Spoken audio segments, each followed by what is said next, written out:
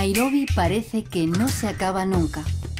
La capital de Kenia es una ciudad desparramada y gigantesca, un ejemplo de las megalópolis africanas que crecen sin descanso, mientras las zonas rurales se van despoblando y perdiendo fuerza.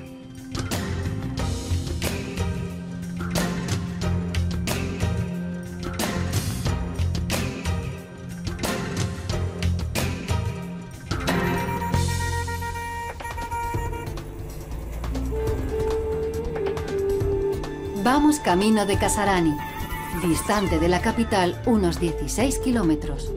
O eso nos dicen, porque nunca sabemos desde dónde se miden esas distancias.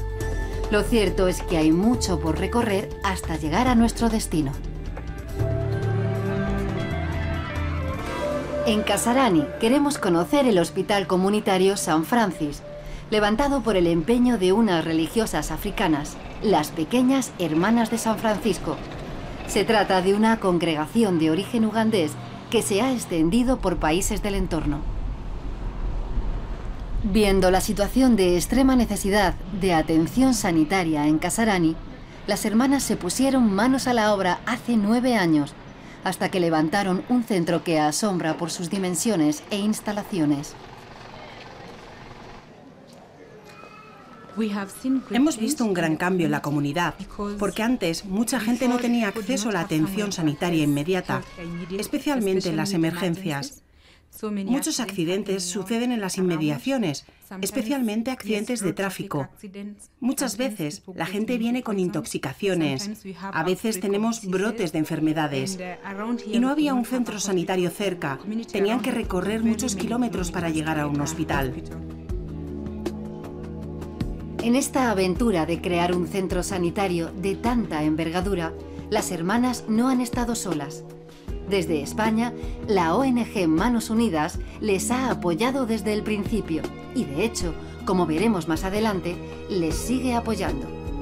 Esta ONG de la Iglesia Española lleva 38 años colaborando con proyectos en Kenia. Actualmente son iniciativas centradas en acceso al agua, educación, atención social a los slums, los barrios más pobres de Nairobi y por último, proyectos sanitarios como este que se desarrolla en Kasarani.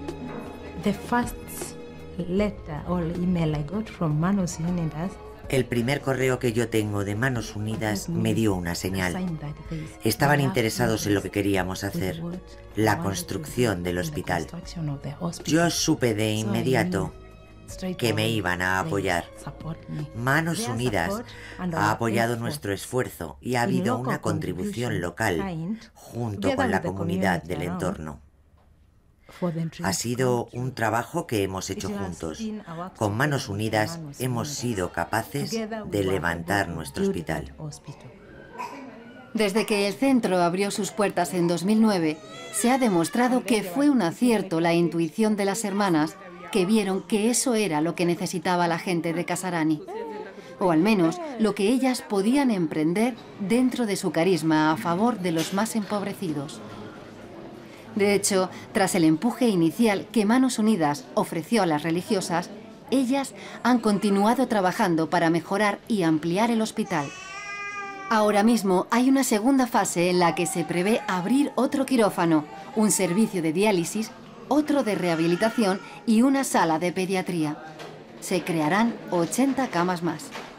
Proyectos nos piden muchísimos y es muy importante tener un buen ojo para saber quién va a llegar lejos y quién no ampliando un proyecto.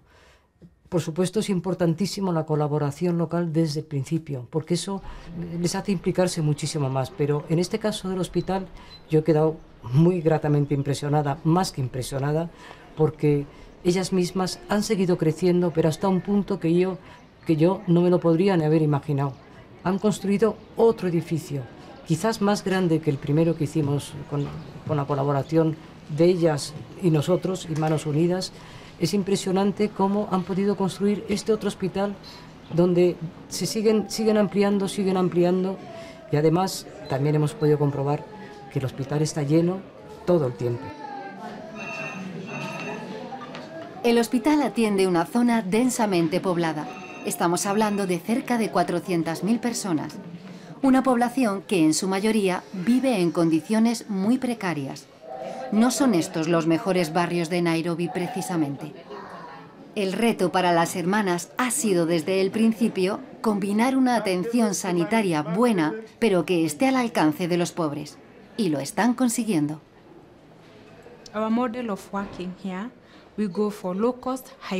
Nuestro modelo de trabajo aquí consiste en bajos precios y alta calidad. Tratamos de calcular esto como modelo para proporcionar cuidados de salud. Hay mucha gente que no puede hacer frente a los gastos médicos porque son caros.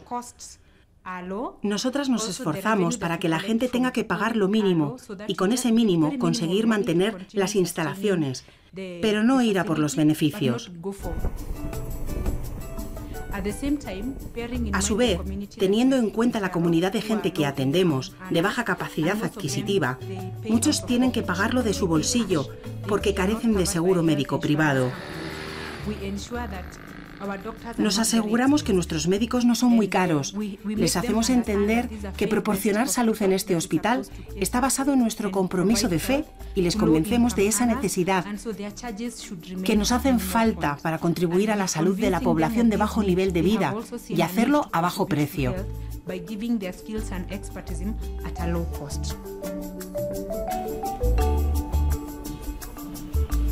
Las afueras de Nairobi son una sucesión de barrios caracterizados por la infravivienda, ya sea en chabolas de lata o en edificios en los que se hacinan familias en pocos metros cuadrados. Kasarani, por su extensión, es una mezcla de un típico slam de Nairobi y una zona que recuerda al ambiente rural. En la capital keniana hay gigantescos barrios como Kibera, con casi un millón de habitantes, o Corogocho, lugares que ya hemos conocido en este programa. En Casarani también se mezclan familias que vinieron huyendo de la pobreza rural para caer en la miseria urbana, con otros que intentan salir adelante con pequeños negocios o profesionales asalariados de la enfermería y la educación.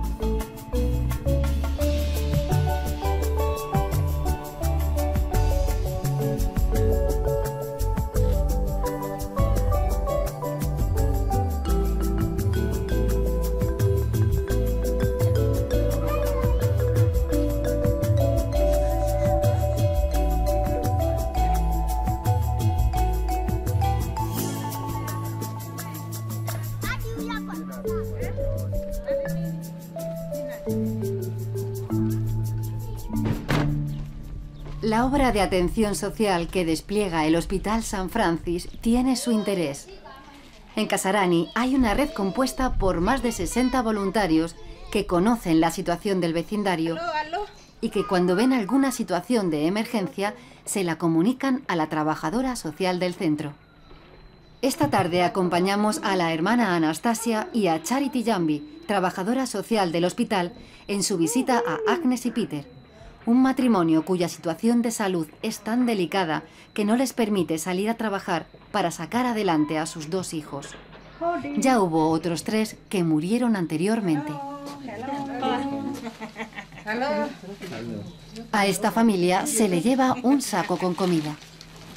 Un total de 2.000 familias son ayudadas por el Servicio de Atención Social del hospital.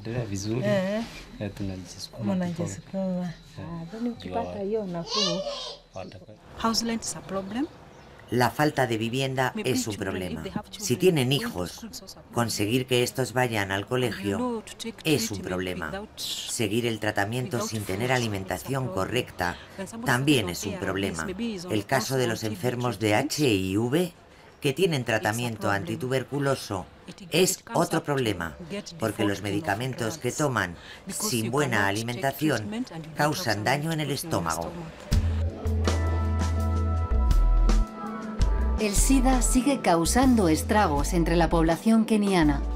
Según ONU-SIDA, 36.000 personas murieron a causa del virus en 2016, mientras que algo más de un millón y medio está afectado. De esta cantidad, un millón ya reciben tratamiento. Bien es cierto que el avance en la lucha contra el SIDA ha sido muy grande. Se ha pasado de los 230.000 contagios en 1993 a los 62.000 actuales.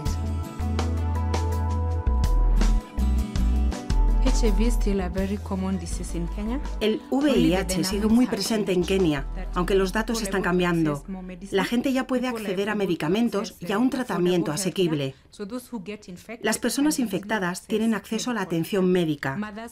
Las madres infectadas cuentan con programas para prevenir el contagio a sus hijos. Los porcentajes de infección han bajado gracias al cuidado que se está teniendo.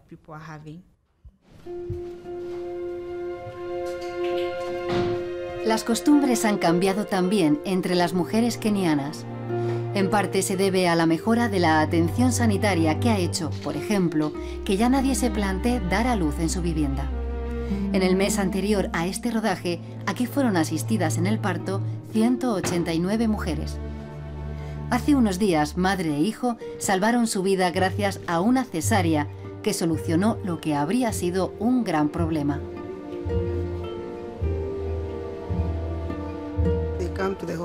Ellas vienen al hospital porque es más seguro y más limpio. Y el parto se hace bien. La madre se va con el bebé más feliz y ellas, por tanto, regresan en la siguiente ocasión al mismo hospital.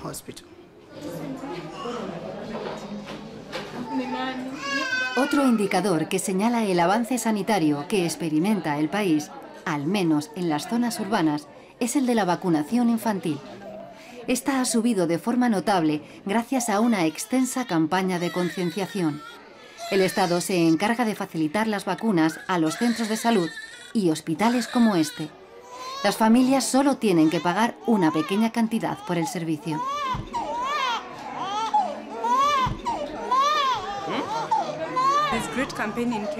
Ha habido una gran campaña en Kenia para las madres, para que tengan en cuenta la vacunación. Ya hay muchas que tienen un poco de educación o madres que conocen la importancia de la vacunación y no quieren correr el riesgo de criar a un hijo sin vacunas. Esta campaña de información se ha hecho a través de todo el país, incluso en zonas remotas. Y ahora, también en barrios de las grandes ciudades, las madres tienen una actitud positiva ante la vacunación.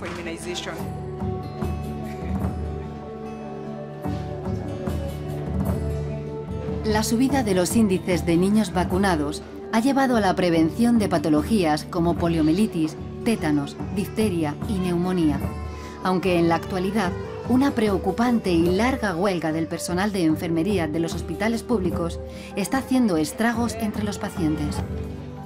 Otra de las iniciativas que las hermanas emprendieron recientemente ha sido la puesta en marcha de una gran escuela de enfermería.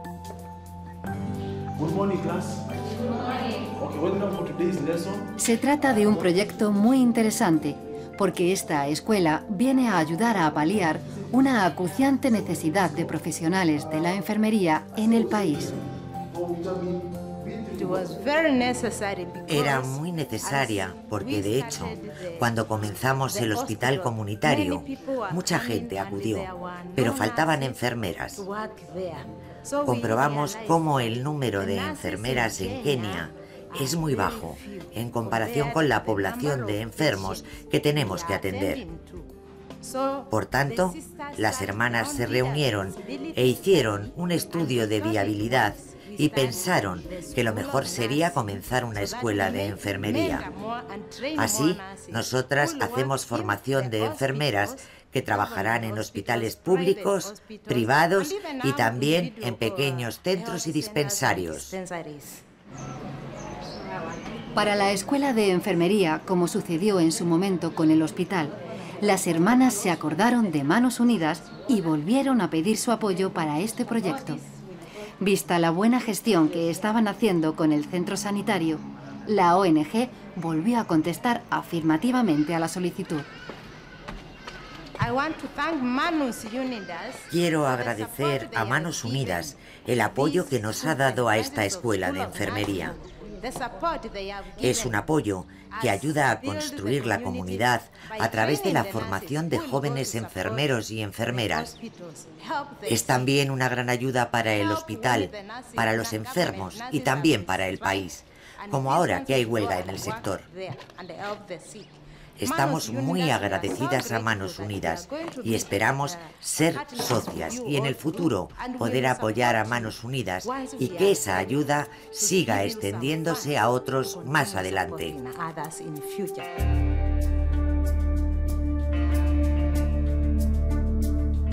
En Kasarani, como en el resto de Kenia, hay un déficit enorme de enfermeros titulados. En el país solo existen 28 escuelas de enfermería que forman aproximadamente a 840 alumnos al año. Por eso, la decisión de las hermanas ha resultado tan acertada. Muchos jóvenes de los gigantescos barrios de los alrededores han visto en estos estudios una posibilidad de desarrollar su vocación y una salida laboral.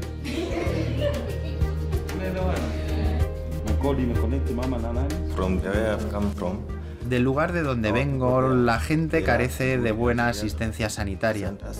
No hay centros de salud ni profesionales que les atiendan. Entonces pensé que para que tengan una mejor asistencia, estudiaré aquí y cuando acabe volveré para ayudarles. Decidí estudiar enfermería porque me gusta atender a la gente que está enferma. Hay muchas personas que están sufriendo y pensé que estudiando enfermería les podría ayudar.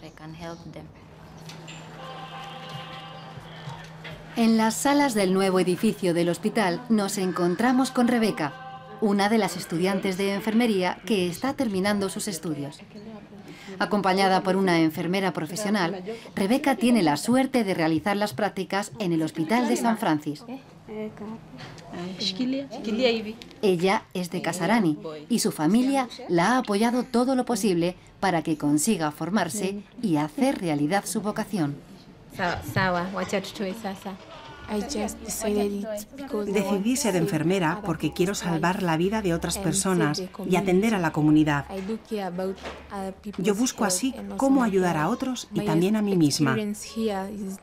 Mi experiencia aquí es que estoy aprendiendo mucho porque la escuela te enseña la teoría y aquí puedo hacer mis prácticas.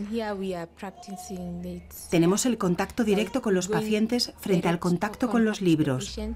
Me gusta más esta experiencia.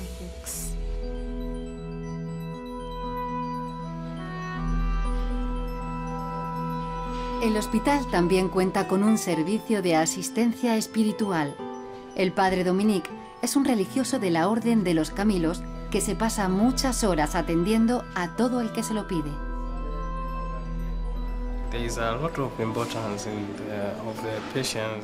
Creo que es importante la presencia del capellán en el hospital, porque en primer lugar los pacientes necesitan a Cristo, que está con ellos en las dificultades, en el dolor. Necesitan un gran apoyo porque muchos de ellos pasan por dificultades. Especialmente hay personas que no tienen paz interior. Están en conflicto consigo mismos o con alguien de su familia. Por tanto, necesitan ayuda, sobre todo si tienen problemas psicológicos.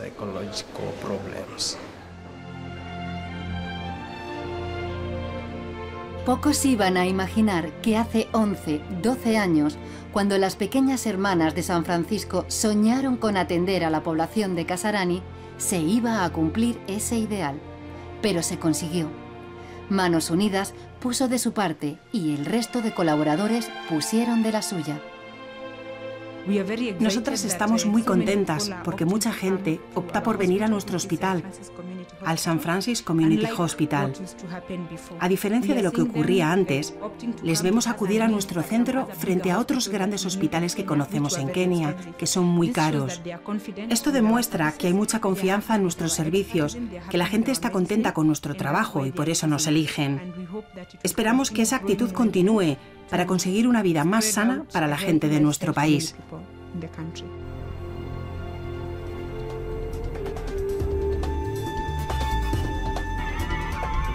Para seguir el rastro de la ayuda de Manos Unidas en los alrededores de Nairobi, ponemos rumbo al suburbio de Cajagua, a 15 kilómetros al oeste de la capital, situado entre dos grandes barriadas marginales, Soweto y Congo.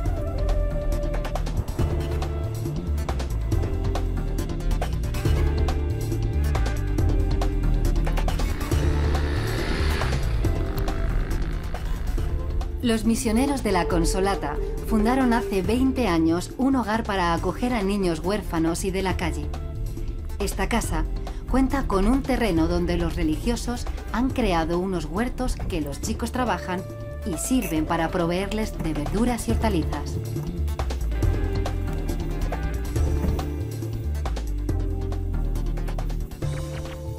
Con el objetivo de mejorar la producción, pidieron ayuda a Manos Unidas para instalar estos invernaderos y varios tanques de agua.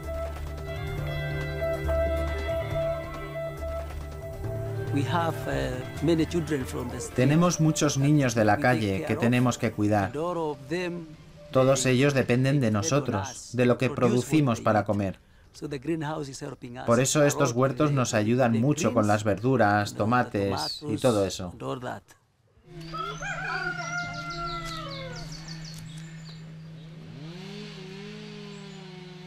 Los misioneros de la Consolata, poco después de su fundación en Italia, llegaron a Kenia a comienzos del siglo XX.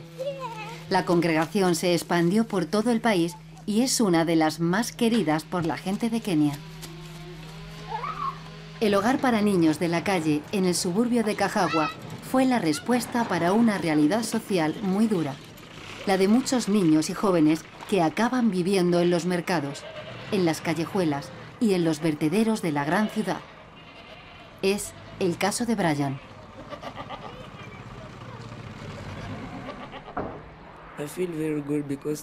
Yo ahora me siento muy bien porque aquí me han dado una educación. Todas las necesidades básicas las tengo cubiertas, como formación, ropa, salud y alimentos. En casa no teníamos comida, no me cuidaban, no podía dormir allí. Esos eran mis problemas. Los niños acaban en la calle porque no encuentran quien les cuide. Eh, Parte de las familias se rompen por el abuso en el consumo de drogas. Ambos progenitores son consumidores y ellos abandonan la responsabilidad sobre sus hijos. Por tanto, el niño se refugia en la calle. No se sabe bien cuántos niños hay por los barrios y slums de Nairobi. Unas cifras hablan de 40.000, otras de 60.000. Lo cierto es que el fenómeno de los niños de la calle es fruto de la situación de extrema pobreza y vulnerabilidad que viven miles de familias kenianas. Una vez en la calle, los niños sobreviven como pueden. Muchos de ellos son víctimas de todo tipo de abusos o caen en el consumo de sustancias como el pegamento, o últimamente el fuel que utilizan las aeronaves.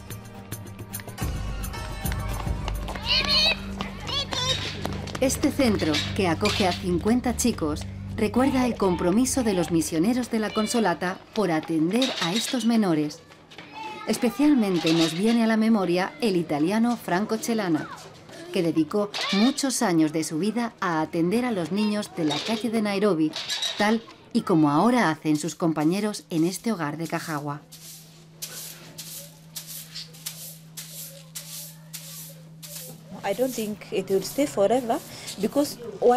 No creo que el daño que reciben permanezca para siempre, pero hay que tener en cuenta que aquí el chico consigue cubrir algunas carencias. Las necesidades básicas, las emocionales, las espirituales. Ellos van a la escuela, se alimentan bien, tienen ropa.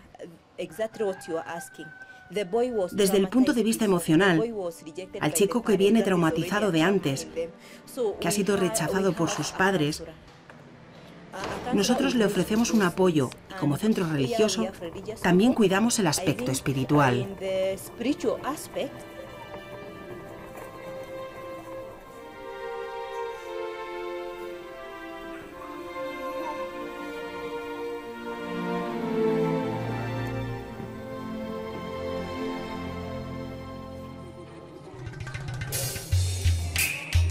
Aquí, en este lugar alejado del centro financiero y comercial de Nairobi, pero cercano, muy cercano a los interminables barrios de lata y arena, sigue el trabajo paciente de acoger y curar las heridas de estos chicos, de darles afectos, fuerza para seguir adelante.